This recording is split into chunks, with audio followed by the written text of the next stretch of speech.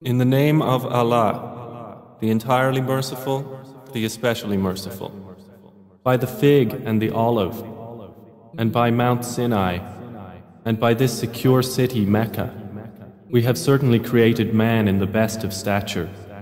Then we return him to the lowest of the low, except for those who believe and do righteous deeds, for they will have a reward uninterrupted. So what yet causes you to deny the recompense? Is not Allah the most just of judges?